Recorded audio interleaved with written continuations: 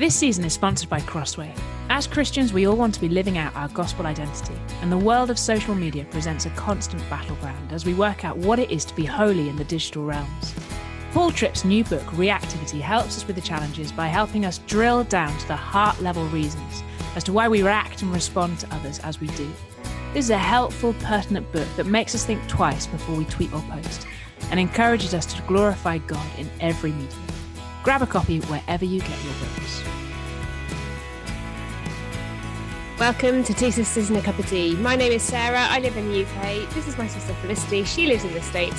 And today we are getting into the final part of the letter, the second half of chapter 5 of First Thessalonians.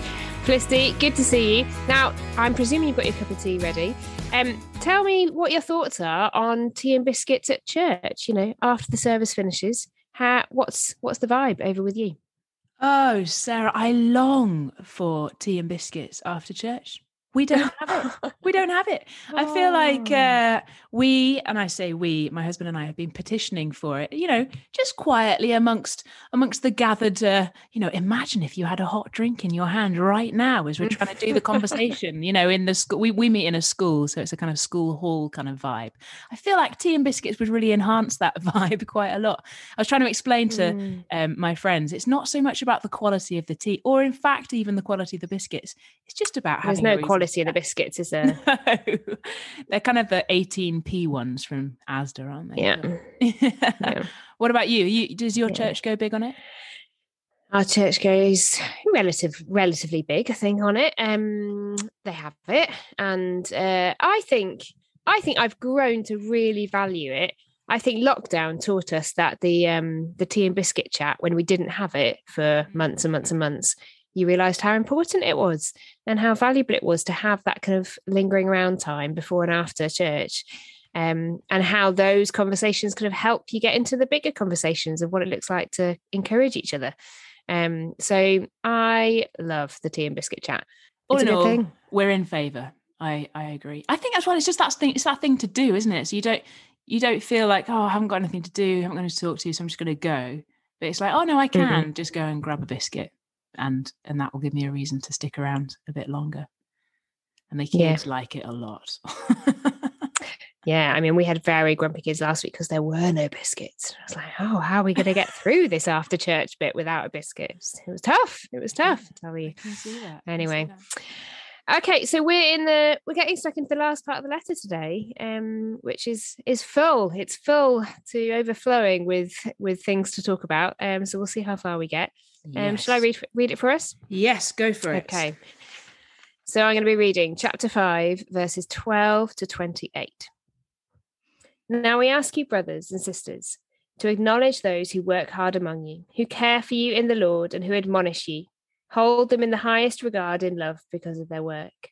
Live in peace with each other. And we urge you, brothers and sisters, warn those who are idle and disruptive, encourage the disheartened, help the weak, be patient with everyone.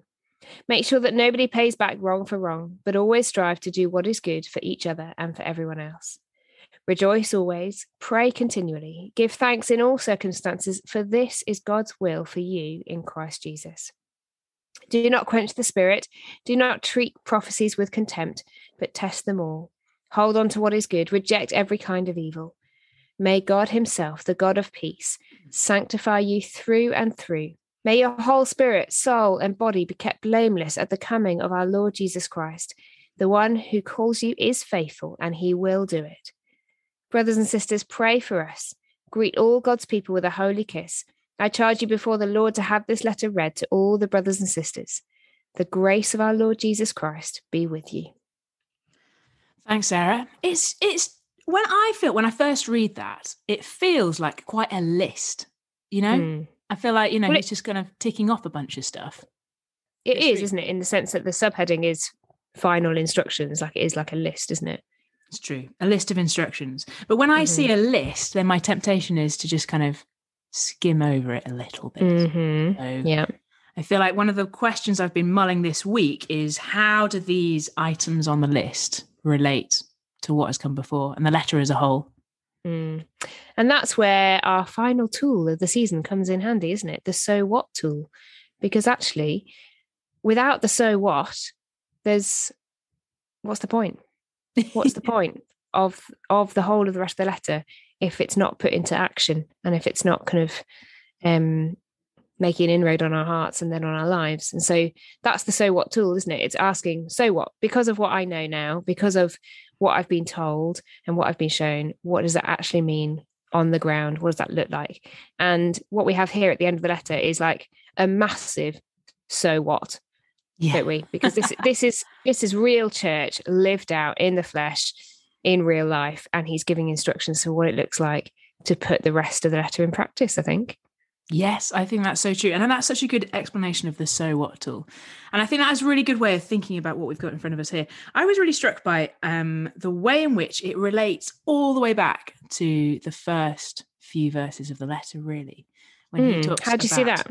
Well, if you were to flick back with me, you'd see verse three. He's talking to the Thessalonians. He says, We remember before our God and Father your work produced by faith, your labor prompted by love, and your endurance inspired by hope. And all the way through the letter, I think we've seen faith, love, and hope coming through. Mm-hmm. And then here, I mean, even just in the first few verses, you get it, the love. And I think we have we have this um, love, faith, hope in action here as they're called to love one another. I think the so what mm-hmm. seems to be so what so love one another and mm-hmm. and wait well for Jesus' return. Like like look to him yeah and, and, this kind of the work of faith like because of who you are therefore this is what it's going to look like to be those people it's kind of all part of that we're charged to walk in the kingdom of god and this is what it is to be the people of god yeah i think yeah i i got similarly actually when i was thinking about this that the, so the first basically verses 12 well i got kind of verses 12 to 15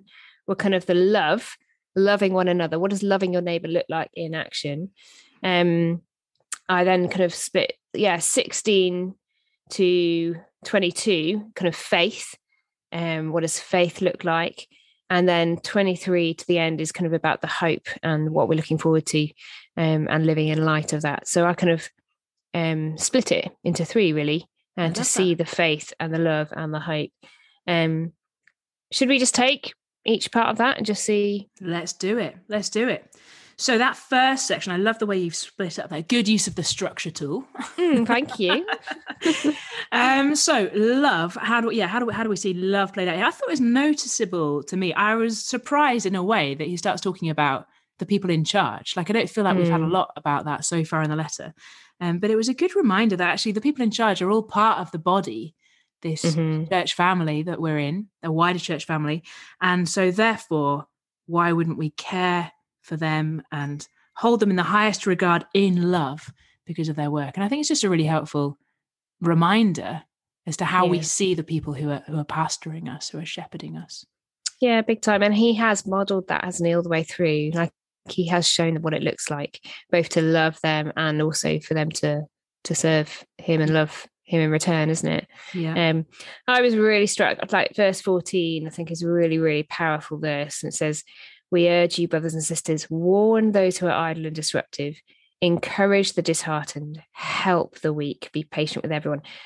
And that just feels like that that that is a summary of a church family, isn't it? We will like there are those who are idle and disruptive. There's always going to be those who are disheartened. There's always going to be the weak. And with all of those categories, you need to be patient. Mm. Like patience is kind of the bedrock of how you respond to anyone in any of those three camps and there will be times when we're probably all of those things um, and i think just being able to accept warnings being receptive to that um, being able to accept encouragement when we're feeling disheartened being able to accept help when we need it when we're feeling weak but also being able to the ones who give help and the ones who give encouragement and the ones who are willing to stand up and and warn um, a fellow sister or whatever who's being um, idle or disruptive. Like I just think it's a really powerful verse. There's a lot packed into those that sentence. Um, but the be patient with everyone. That is the epitome of love, isn't it? Actually, mm-hmm. all of those things coming with with love at the heart. That it's love, the love of Jesus you're bringing as you do any of those things. Yeah, really helpful and, and really helpful just to kind of almost break down what that love looks like in those verbs mm. that hmm. you were talking about there. Really helpful. Okay, so we get this kind of picture, and I, I love at this at the end of verse 15, always strive to do what is good for each other and for everyone else. I love the kind of Mm. all togetherness. I think throughout this whole passage, we have so much kind of one anothering, which fits Mm. very well with what he's been saying all the way through the letter, doesn't it? So helpful to see what that actually looks like. yeah it's just such a reminder isn't it this is done together in community this is a this is a church thing together like what you believe about the gospel impacts what you do on the ground with others Mm. like it can't be in isolation can it and i think just it's, this is all these instructions are so other people centered and just a really helpful reminder of that yeah, um absolutely.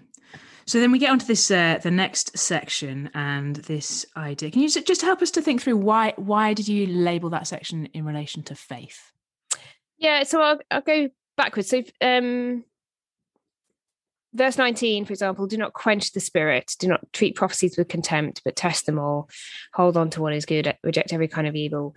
Um, that's talking about the spirit's work. That's talking about the faith that we hold and the spirit's work in us. Um, that is part of our faith, isn't it? To to not quench the spirit. You know, and he, we had that in the chapter four as well. Um, you know, in terms of um in relation to how they love one another um and not rejecting God who gives you the Holy Spirit. So just Mm, yeah, just rooting that in yeah, um in their faith. Um and then I think I kind of feel like the verse 16, um, 17 and 18 is very famous verses really, but that's that's kind of this is kind of the hinge of it all, really. Um this is the heartbeat of our faith, and it's God's will for us that we should rejoice always, pray continually, and give thanks in all circumstances. And as we do that, I think ev- everything else in this final section kind of can happen more easily. I think. yeah. I think that's right. I think I think that heart, the heart of rejoicing and praying Hmm. and giving thanks is very God focused, isn't it? Like we're rejoicing in what the Lord has given us. We're giving thanks for all that He and so and in prayer we're dependent upon Him. So as we it kind of shifts our eyes to look to him more, which is an act of faith, isn't it? To Yeah. trust him in all of that. And and I love that that as you say that um this is God's will for you in Christ. It just kind of echoes all the way through. We've had this authoritative, this is this is God's gospel. This is what it is to be Mm. God's people. This is God's will for you. There's no doubt. These instructions paint a picture of what it is to be obedient to God, to be in in God's people in that way Yeah. which is I find that really encouraging as well as challenging. I think my instinctive thing is to be like, oh man, what? God's telling me to do something. But actually, I think there's actually in that a huge encouragement all the way through Thessalonians of this is who I am. Mhm. Now, I, I really want to be that person. And he's giving me all the all the not only the instructions, but the means by which we can do it. Which takes Yeah. Well, and I think the temptation is always to think, Lord, what's your will for my life? What's your will for my life? You know, kind of really wanting to know the details. He's giving very detailed instruction here for what his will is.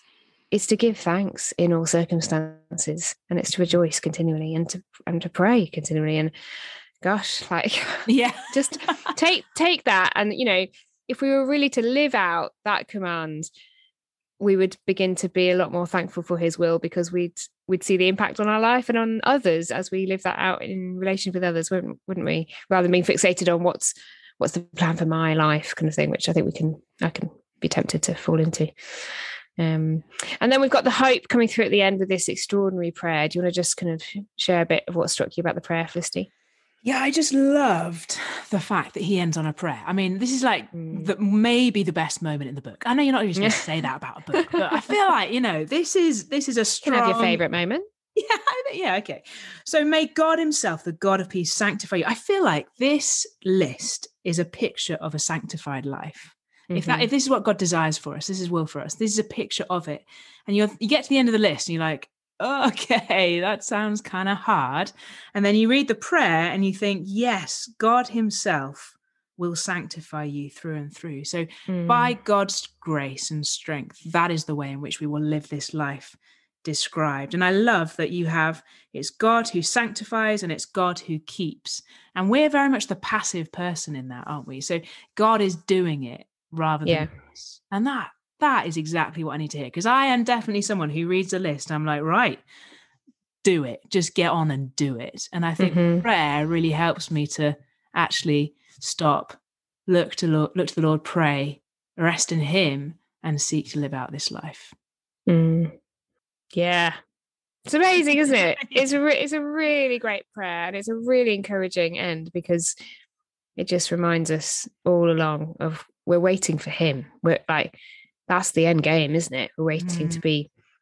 We're like you know, yeah. May your whole spirit, soul, and body, all of you, be kept blameless at the coming of our Lord Jesus Christ. Like that's that's what we're looking forward to. And so anything that we're doing up, you know, any of these instructions that we're then seeking to live out, it's because we're wanting to live out who we already are as those who've been sanctified and made blameless and are continuing on that path until he until he comes again. Um yeah. Yeah. There, and that, and that's just exactly what we need, isn't it? And I think through reading First Thessalonians, then that's been a really big factor all the way through that the more we've thought on and heard about Jesus' return, the more mm. our hope is bolstered in that, is built up in yeah. that. And that I think that's the Thessalonians angle, isn't it, in many ways, because that's not something we talk about or think about very often. But as we've been in the letter, then we've talked about it and prayed about it, and and, and it's been very much on our horizon. And as we yeah. as we have it in view, I think I've begun to see oh, no, this is the reason for the hope. This is why I do have mm. hope because I'm waiting on the certain hope of Jesus, Jesus' return. That God and he end, and he ends on the note of grace, doesn't he? The mm-hmm. the grace that he began the letter with, he ends on that note in verse 28. And again, just seeing that it's all through grace. It's all his gift to us. So mm. anything that we can do to live out this love that he's we've been shown by the Lord Jesus and modeled by Paul, that's all grace. Yeah. Like, which yeah. is extraordinary, isn't it? Brilliant. So, so just kind of briefly to kind of drive this to our hearts a bit more, what is it like to take seriously these commands? Well, I think, as I was saying at the start, it's tempting to just kind of skim through a list, isn't it? And just, mm. it's like Paul's final notes at the end.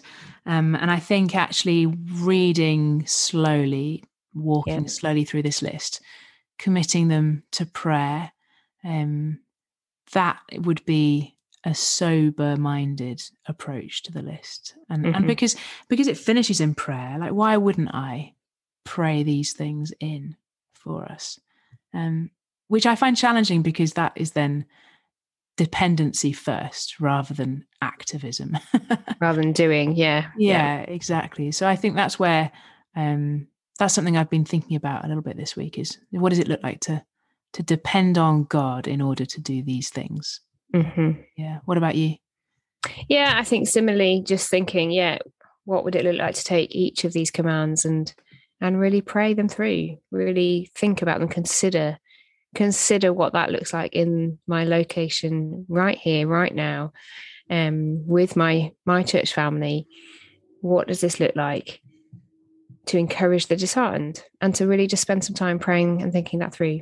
what does this look like to always strive to do what is good for each other like just yeah i think as you say it's that combination of praying that like asking the lord to kind of reveal an insight into how i can best live this out and also then writing down some ideas and praying those through as well um yeah so i think there's so much here we can't you know there's so much here but i think just it's a starter isn't it of actually we need to think this through we can't just skim over this. This is integral to our witness as Christians on the ground, and that's why it's included. And uh, um, yeah, and the altogethernness being, it would be so great to talk about this with someone in our local church, wouldn't it? Rather than just us yeah.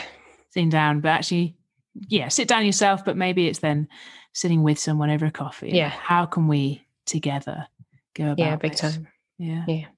You want to pray for us, Felicity? Yes, sure. Father, we praise you so much for your grace. Thank you that it's you who's doing the sanctifying, you who keeps us, that you are the one who is faithful.